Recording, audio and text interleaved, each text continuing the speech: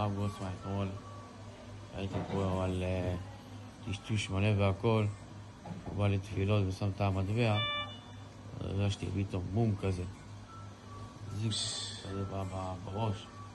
הרגשתי שהיה פה מישהו שרואה שהוא התפלל מה...